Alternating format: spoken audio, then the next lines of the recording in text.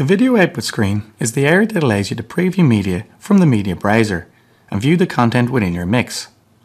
This screen can also be used as a dedicated media player, allowing you to watch movies and media with various file formats, such as AVI, MP4 and WMV. To preview a file in the media browser, simply click on it to select it and it will be previewed in the output screen.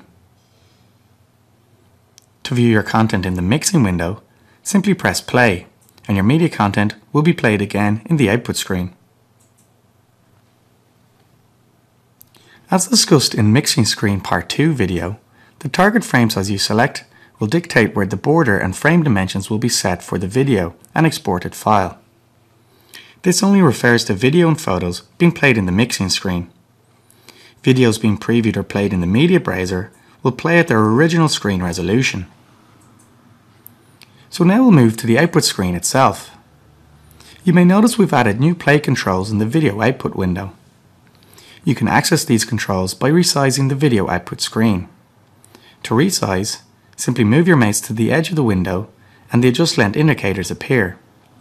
Click and drag to adjust the length. You'll notice we've added stop, play and a play position pot.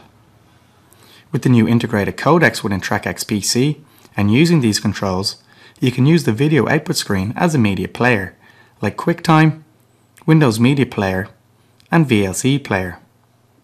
You can also move quickly and easily through the file to get to a play position you want, or to simply scan the file to see if you want to use it in your mix.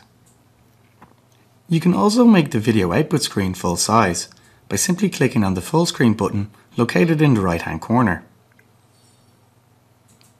You may also wish to attach a second monitor to your PC or laptop and output the video to it. This is a really good option if you wish to do some VJing or other video production work. We'll now explain some of the icons in the video output screen. Firstly, we have the double icon. This will allow you to double the frame size of your video. Click the stretch icon if you wish to stretch the video frame to fill the available viewing area. By clicking on the Preserve Aspect Ratio, you'll preserve the aspect ratio of the video when it is stretched. If you notice that your computer is labouring while playing video, especially if your video is in full screen with the stretch button enabled, then unpress the high quality video stretching button. This results in the video frame being stretched using a more general purpose algorithm, which requires less computing horsepower.